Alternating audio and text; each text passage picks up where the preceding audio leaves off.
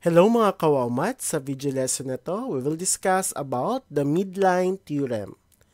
So, the midline theorem, it is a segment whose endpoints are the midpoints of two sides of a triangle is parallel to the third side and half as long. So, ibig sabihin class, so ito, yung sukat nito ay twice ng sukat ni BC.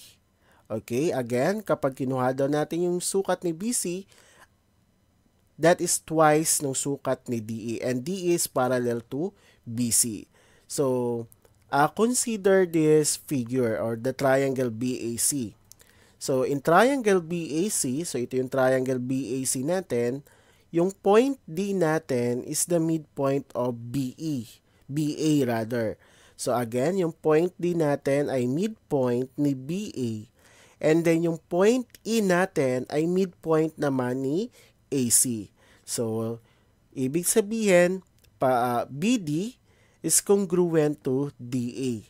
Ibig sabihin nun, ang sukat ni BD, kung ano yung sukat ni BD, ay sukat din ni DA. Or kung ito ay 10, 10 din yung sukat nito. And also, AE is congruent to EC. So, same din sila ng sukat. So, using the vertical angle theorem, so triangle AED, so itong triangle AED na to, using the vertical theorem, is congruent to triangle FEC. So, FEC, no? Again, triangle AED is congruent to triangle FEC. So, kasi nga, ito, di ba, sabi dito, pag vertical angles, they are congruent. So, sabi dito, vertical, using the vertical angle theorem, itong triangle na to, saka yung triangle na to, are congruent. Next, using the SAS postulate or the side angle side postulate, yung triangle AED natin ay congruent kay triangle AEF. Again, yung triangle AED natin is congruent kay triangle AEF. Okay, that is side. Okay, angle side postulate. Where your DA, so ito yung line seg yung segment na to, yung DA natin ay congruent kay FC. So ito. And then that is using the CPCTC or the corresponding parts of congruent triangle is congruent. Next is BD. Okay, itong part na to is congruent to FC. Okay, using the transitivity. And also, the triangle ADE. So, itong ano, angle rather, angle ADE. So, itong angle na to, congruent siya kay angle F CE. So, itong angle na to ay congruent sa angle na to. Okay? This also corresponding parts of congruent triangle is congruent. So, since a pair of alternate angles are formed, so meron tayong alternate angles, which are congruent, then BD, saan yung BD natin? So, yung BD natin ay parallel to FC. Ito. And then, it form parallelogram BDFC. So, kung ito lang yung triangle natin class, ito yung given triangle natin, yung BAC, and then in-extend natin yung line na to, and then nagkaroon tayo dito ng point F, so magkaka-form tayo ng parallelogram. Okay? So, since naka, nakapag-form tayo, that BD ay parallel to FC. So, in parallelogram BDFC, so again ha, ito yung para, uh, parallelogram BDFC natin, ito. There are two pair of opposite sides that are congruent. Kasi nga, yung DF natin is parallel to BC. So, ibig sabihin, yung DF natin ay congruent to BC. And yung DE natin, also, likewise, DA also is parallel to BC. So, itong DB natin ay congruent din kay FC. So, E is the midpoint of DF, okay? So, therefore, yung sukat ni DE ay equal sa sukat ni EF. They are congruent. And DF, asan yung si DF? DF congruent to BC. So, pag kukunin natin, pag inad natin to, yung sukat ni DE plus EF, that is equal to the measure of DF. And then, uh, pag kukunin natin si BC, again, pag kukunin natin si BC, that is twice ng sukat ni DE. Or yung measure ng DE. And then, kapag kukunin naman natin si DE, that is one half ng measure ng BC natin. Okay, for example, in triangle BEA, X and Y are midpoints of BE and EA. So, yung X, midpoint siya ni BE. And then yung point Y, midpoint siya ni EA. Okay. So, complete the following statement. So, BX, si BX ay congruent sa anong, kanino siya congruent. Okay, sabi kanina, pinaliwanag that BX is, itong line na to ay congruent dito since X is the midpoint of BE. So therefore, BX is congruent to EX. Okay, another. BA is congruent to So, pag kukunin natin yung sukat ni BA, that is twice nung sukat, nung measure ni XY. So, therefore, BE is congruent to twice nung measure ng XY. Okay. EA, so ito, ito ng buong to, e is congruent to EY plus YA. Okay? Next, kung ang BA natin is 36, ano yung value ng XY? So, kahit hindi mo ito i-compute, no, pwedeng i-compute natin mentally. So, alam natin ang XY ay kalahati ni BA at si BA naman ay doble ni XY. So, kung uh, si BA daw ay 36, so ilan yung XY? That is, kung, kung compute natin, base twice na XY, so that is 18. So, kahit hindi mo na uh, ipakita yung solution, kung alam mo yung property, so, kayang-kaya i-solve mentally. Next. Kung yung EX natin ay 10, ano yung B, uh, sukat ng BX? 10 din. Okay? Kasi they are congruent. Next. Okay, meron tayong triangle LMN. So, triangle LMN. So, para makuha natin yung value, yung measure ni LN, ito, kailangan natin isolve muna yung value ng X. So, we all know that LN is twice ng measure ni EF. So, by substituting the given value, so LN is equal to X plus 10, and then 2 times EF. So, EF is x plus 3.5. Then, distribute natin si 2. That is 2 times x, that is 2x. 2 times 3.5, that is 7. And then, simplify. So, 10 minus 7. So, si 7 nilipat natin dito sa left side. And si x nilipat natin sa right side. Para hindi na tayo magkaroon ng negative na value ng x.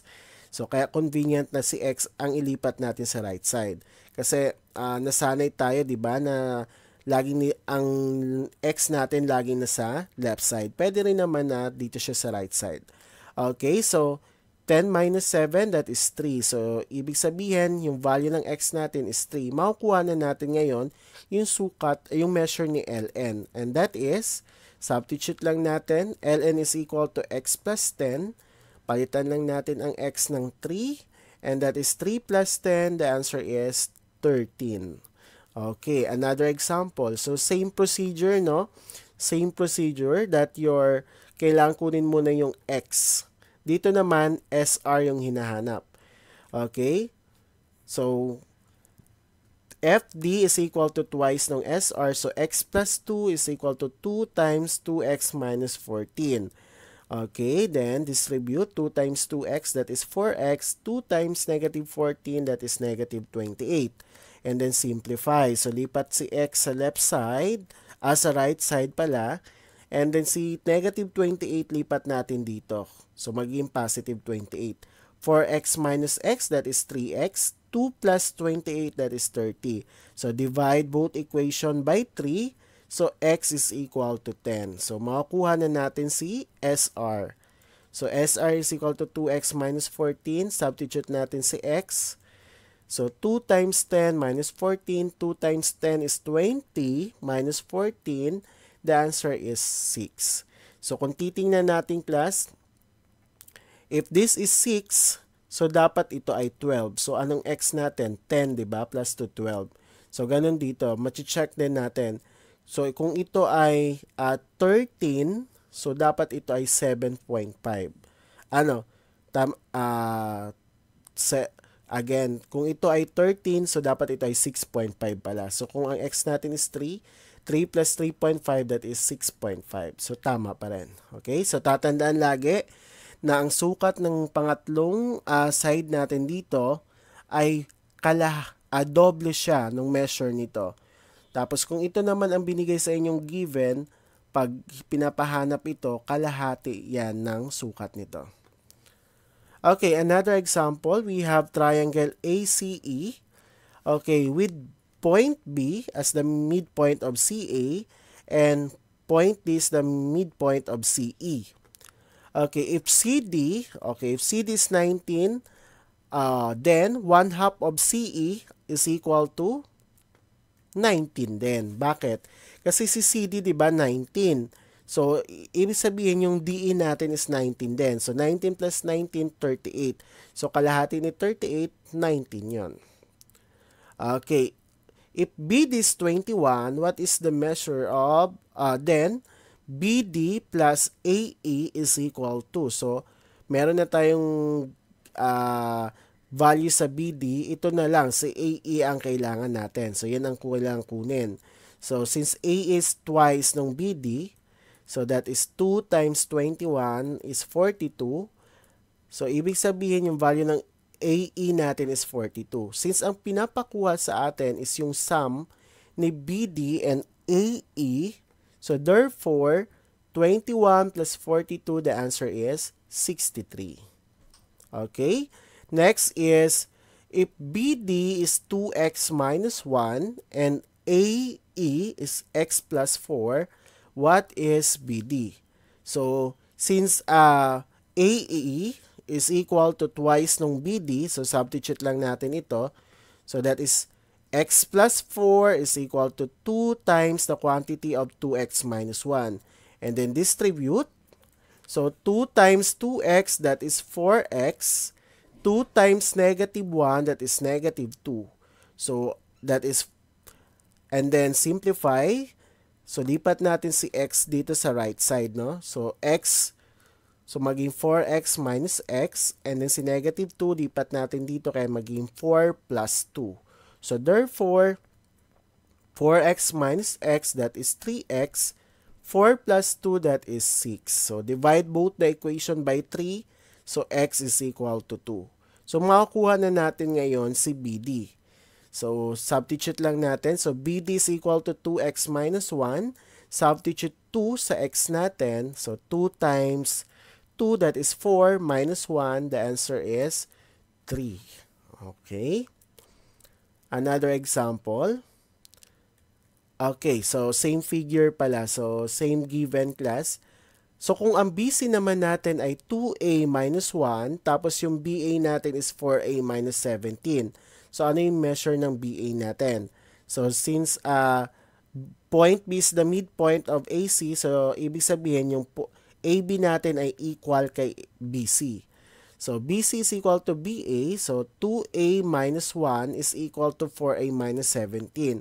So, in order na, in order to solve BA, o makuha natin yung measure ni BA, kailangan muna natin kunin yung variable A natin. So, Kagaya ng ginagawa natin, so this time, si 4a yung ilipat natin dito. So 2a minus 4a, that is negative 2a. Negative 17 plus 1, that is negative 16. And divide both the equation by negative 2, so a is equal to positive 8. So makukuha na natin ngayon si BA, and that is, uh, substitute natin si 8. So 4 times 8, that is 32 So, minus 17, the answer is 15. So, ibig sabihin, ang sukat ni BA is 15. I-check natin kung ang BC natin ay 15 din. Okay? So, ano yung value ng BC natin? 2A minus 1. So, 2 times 8, 16 minus 1, 15. Okay, so tama yung nakuha natin. Okay, another example. Kung ang BA natin is 17, what is the uh, value of DE? Okay, so, and then CA plus CE is equal to. So, paano natin kunin yon? Yan na, ito ang binigay, yung dalawang ito. So, first, kunin natin yung buong ito. Okay? Kasi equal naman sila. So therefore, yung CA natin ay twice ni BA. And that is 2 times 17, the answer is 34. Si CE naman ay twice ni DE. So therefore, 2 times 14, that is 28. So since ang kinukuha natin CA plus CE, So the sum of CA plus CE is equal to 34 plus 28, that is 62.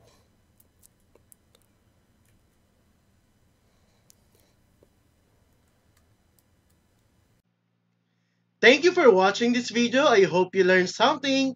Don't forget to like, subscribe, and hit the bell button para updated kayo for more video tutorial. This is your guide in learning your math lesson, your Wow Math channel.